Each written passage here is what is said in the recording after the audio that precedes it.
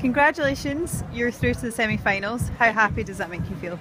Yeah, of course, really happy. I'm really happy. Um, we are all really proud.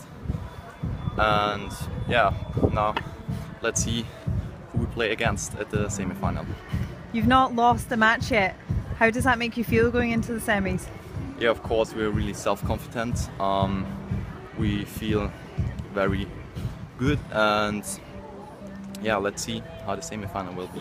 How will you prepare going into the into the next stage? Um, yeah, good question. um, I think we will analyze the this match tomorrow, and then we will prepare for the for our opponents. And yeah, as always, let's see what happens. Well done and good luck for the next match. Thank you.